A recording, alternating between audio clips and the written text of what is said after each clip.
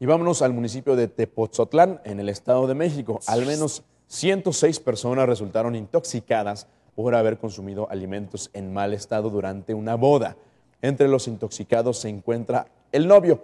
Todos padecían síntomas como fuerte dolor de estómago, vómito y diarrea. Elementos de emergencia brindaron auxilio. La mayoría de las víctimas fueron atendidas en el lugar y una docena fueron trasladados de emergencia a hospitales. No se le va a olvidar su boda al novio.